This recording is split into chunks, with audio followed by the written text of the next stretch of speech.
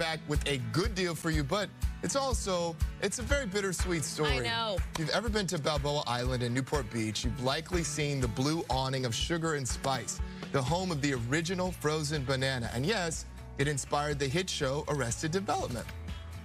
Well, here's the thing.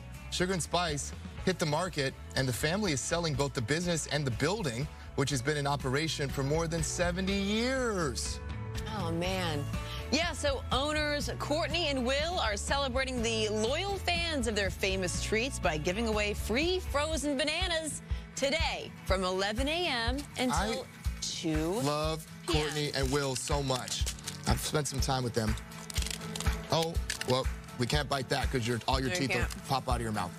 um, it's nothing against them, everybody, let it because thaw it's out. usually not this hard. I think it was just in the freezer. Extra frozen. So it's no dig on them because they are absolutely delicious. I spent time there. You go, you get the banana. Yeah. Um, you, uh, you you can pick any toppings. They also have the ice cream bars, vanilla flavor, other flavor, and um, you can stick it in there.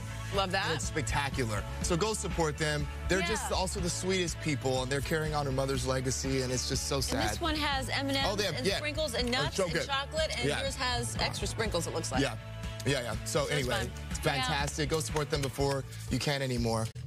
Yeah. Right.